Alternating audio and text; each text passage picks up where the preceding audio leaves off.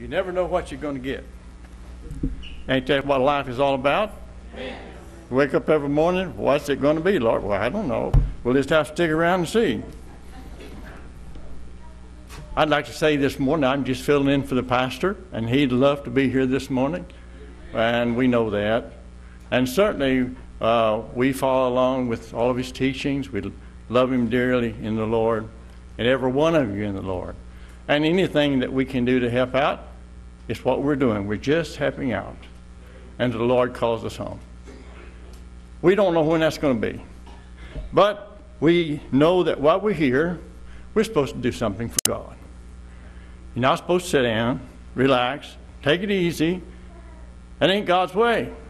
We have to keep moving for God. Pastor will be back. He'll work you over like I'm going to try to this morning. And the next one follows this, this pulpit will work you over too. There was a lady this morning, I wouldn't call her name. She said, Don't step on my toes this morning. That's something, isn't it? She should have wore steel toe shoes. And if I don't step on your toes, I haven't done my job. I want to talk this morning shortly. Uh, we're running short of time, so may not get to everything. But let's go to the book of Genesis. I'm going to read a verse, in, uh, a scripture there to you. Being the first verse, in the 31st, uh, uh, first chapter, 31st verse. And God saw everything, saw everything that He had made, and behold, it was very good. And the evening and the morning were the six days. Let us pray. Our Father, we're thankful to be here this morning. We're thankful to be able to fill in for our pastor. We love him, and dear God, we know that he'll be back. We know that he'll come back and take his place and lead us until God calls us all home. And Father, we thank you for all that you've done for us and all the good things that we have received from you. We have not received anything bad. We don't deserve what we get, God, and we know that. But Father, we pray that you'll give me strength this morning to bring this message and that it will touch hearts and someone might find their way to the cross. For we ask it in the glorious name of Christ. Amen. Most of you have read the, uh, the book of Genesis, and we know that God created everything that was created. He took his time and he made everything put in place, and it was good until man messed it up. But we find here that God worked six days. In his calendar, that would be 6,000 years to build the world. A thousand years, one day was of God. So we know that he spent a long time putting everything together. Who did he make it for? Who did he intended this all to go? Think about all the little birds and all the little animals and all the big animals and just go on and on all the trees, the mountains, the scrubs the flowers in bloom in the springtime, all that God made and put into place. He didn't do it for himself. No. After he got done with it, he made man. He made us from the dust of the earth, and he breathed into our nostrils the breath of life and we became a living soul. And all this that he made was for that, for us. None of that was made for himself. Six days he worked. The seventh day he rested. And if you put all that together, you would deserve a rest after 6,000 years. I'm, I don't think we can make it that long. Six days would probably wore us out. But let's look. Now, if we suppose, and this is, we know that nobody knows when Christ is coming. Not even the angel, not even Jesus himself, only God. Now, I want you to keep that in mind. And all of us suppose that we could we would know the last six days that we're going to live. Have you ever thought about that? What would you do in those last six days for God? And what are you doing for God? You're doing it for yourself too. What would we do in those six days? Let's take the first day. If someone told you, said, tomorrow will be the beginning of your six days and you will be gone from this face of the earth. And we knew it for sure. Now, don't get in mind that I'm trying to tell you I know when Jesus is coming. I don't. But suppose we would know, what would you do with those six days? The first day, I would believe that we would think about God, His creation, and what He'd done for us, and He loved us so much. He said, of all the things He created, He loved man. We should, mind should be upon God the first day. He created us. We belong to Him. He made us from dust of the earth. And dust shall we return if the Lord tarries. So we would think, concentrate on God. We would see what He done for us, look at it, and think about it, and all the love that He put into it for us. He did it for us. If you don't think God loves you, you lack something in your life. You haven't met Jesus. When you meet Jesus, you know about love, you know about compassion, and you know what Jesus died on the cross for us. We ought to have our minds on God the first day, and we should have it every day that we live in this life now. He did it all for us, made all the stuff. The second day, I think we ought to think about our salvation. Do we really have Jesus Christ as our Savior in our hearts? Some people sat in the church for a long time and never found Jesus Christ. We know that to be a fact. So just because you come to church don't mean you're going to be saved. You have to accept Jesus individually as your own So we ought to be thinking about do we really know we're saved? Jesus said we can know we're saved. I know my sheep, and my sheep are know, knows me, and I lead them into everlasting life. Search that soul this morning, your heart, and make sure you're saved. All the rest, it won't mean nothing if you're not. The second day, we should think about our soul and what, where we're going. The third day, I think we ought to think about what Jesus really done on the cross of Calvary. He died for us, and He never knew sin. It was us that sinned. We nailed Him to the cross. You know, people say the Romans nailed Him to the cross. Some people say the Jews nailed Him to the cross, but we all nailed Him to the cross. None of us is not guilty of it. We were born in sin. And thank God we can leave here with everlasting life through the Son of Christ that died on Calvary's cross, that gave it all that He could, His own life for us. We need the second day ought to be thinking about Christ. The third day we ought to be think, thinking about what are we going to do when we see Him? When we see heaven, are we going to be happy and satisfied? Yes, you will. God never done anything halfway. Why should He start now? He said, I'll build you a kingdom in heaven, and I'll, I'll, there'll be a home for you, there'll be a mansion for you, not a shack. My uncle used to say, I, I'm going to be saved by the seat of my pants.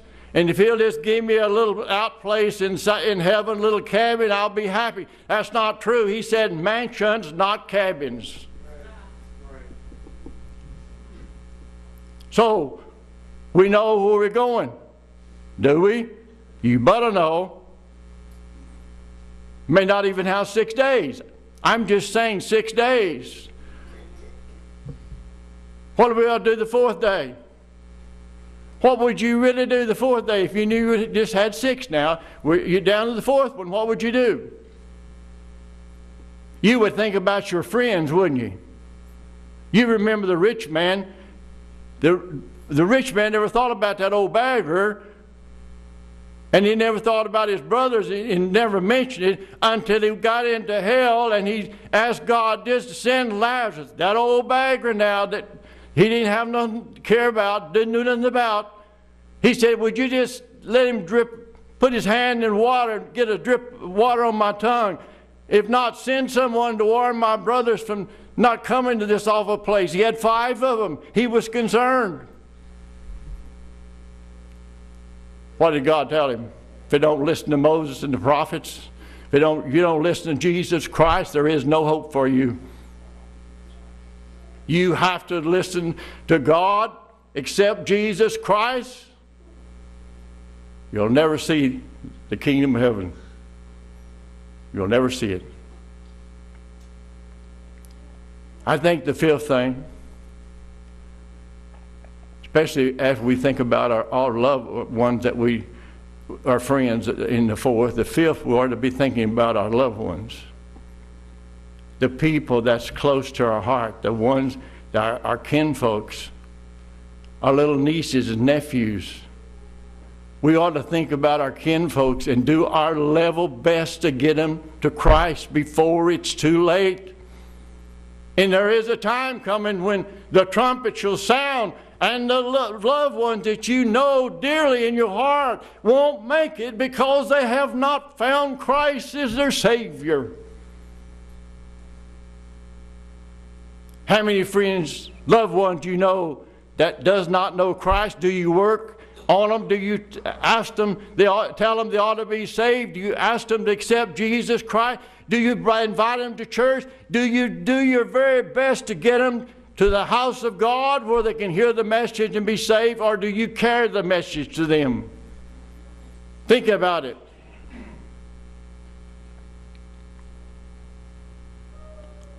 The six things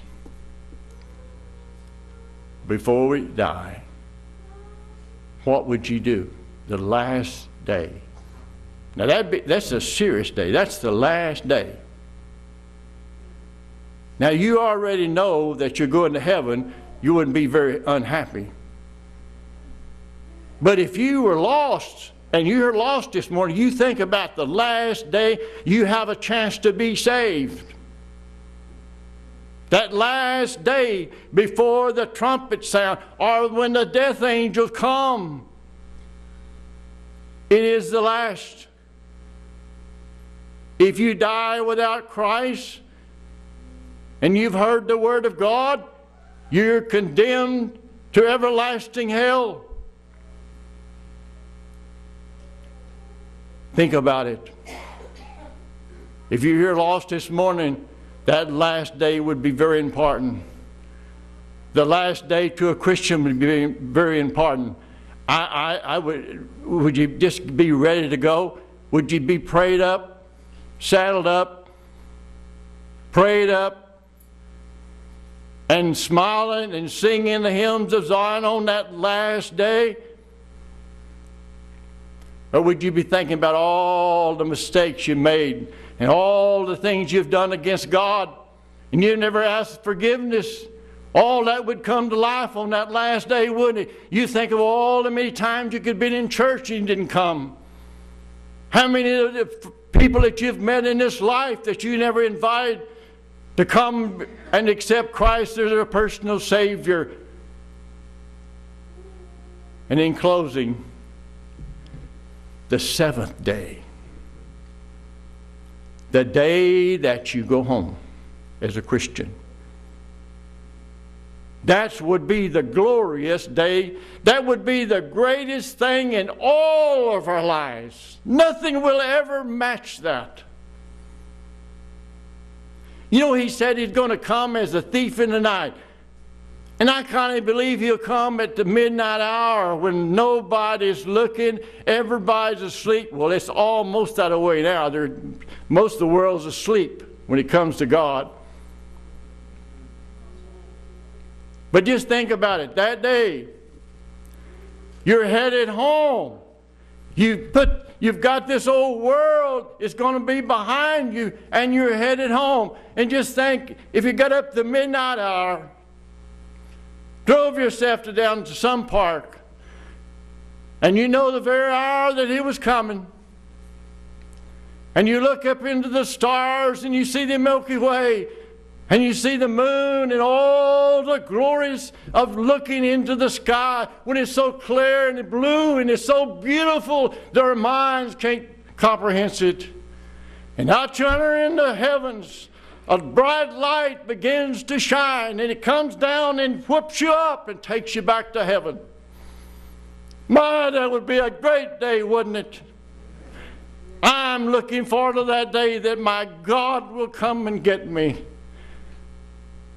I can't hardly walk.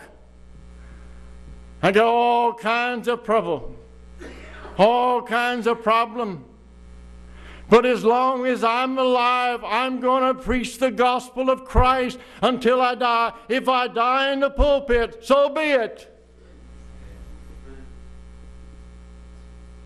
I say to you this morning, when that light shines, and the beauty of it, this if you die through death. Now, of course, if you Lord comes, you're going to see him in the sky and all the host of heaven with him.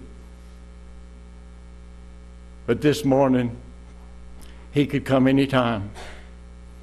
The death angel could cry anytime. Would you be in the light or would you be in the darkness? I asked you this morning that is the decision you need to make this morning. Where do you stand with God? Are you saved? Are you ready to go home? Sometimes people say, why does preachers talk about hell so much?